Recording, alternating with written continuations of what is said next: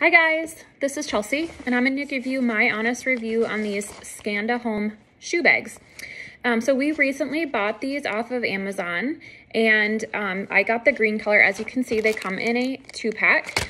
What's really cool is they come like this and you can fold them up and there's a pocket that they it kind of folds into. Um, but it comes inside out, which I'll show you in a demonstration. Um, but then they just have these nice zippers that you can use to shut this bag see here it's got zippers on both sides. It's got this nice pocket here that you could put stuff in and then it's also got this pocket that you fold it into when you're storing it, but it also has a carrying handle. So I'm really excited to use these for shoes, especially when we're on vacation. Um, here's the other one that it came with. As you can see, it just folds into this little pouch, which I don't know if I'll refold it back into that for storage since it doesn't take up much room anyways.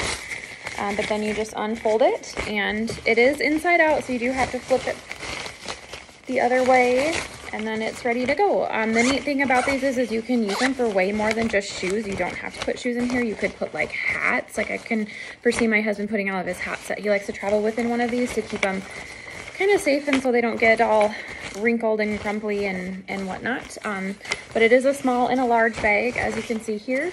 It comes in three colors, navy, blue, orange, and then the green.